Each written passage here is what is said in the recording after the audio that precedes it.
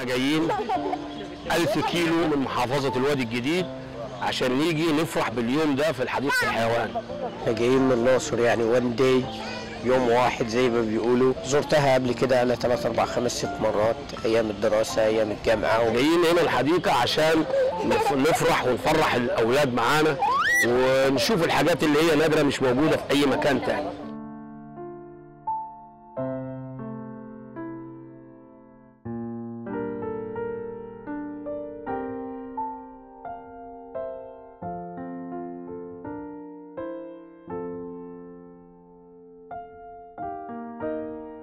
فيها مميزات كتير نظيفة جدا.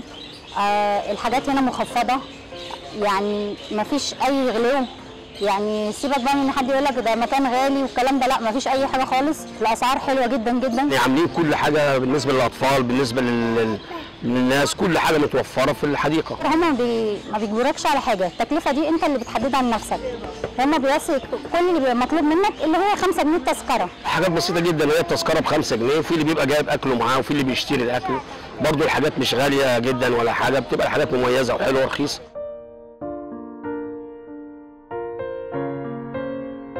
إحنا عايزين نطور حديقة نخليها عالمية ب landscape جديد. إحنا عايزين الأسفلت ده نشيله الأسفلت ده خطأ ومش وما أنشئش مع الحديقة يعني. خديوي إسماعيل لما عمل الحديقه ما عملش فيها الأسفلت اللي موجود ده.